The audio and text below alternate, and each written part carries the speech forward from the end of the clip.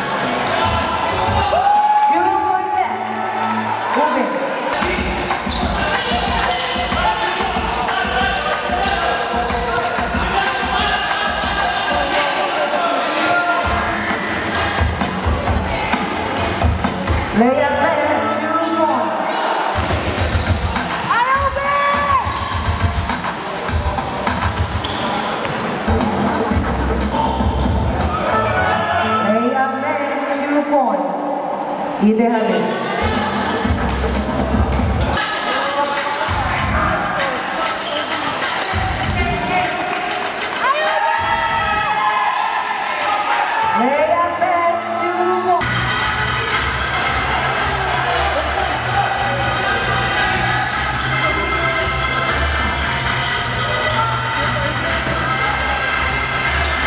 Here's the number one, get ready.